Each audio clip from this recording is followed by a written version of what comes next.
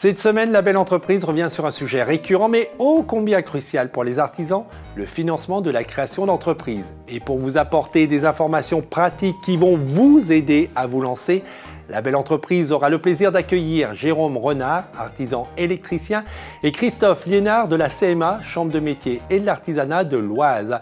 Venez trouver des idées pour financer votre création d'entreprise artisanale cette semaine dans La belle entreprise.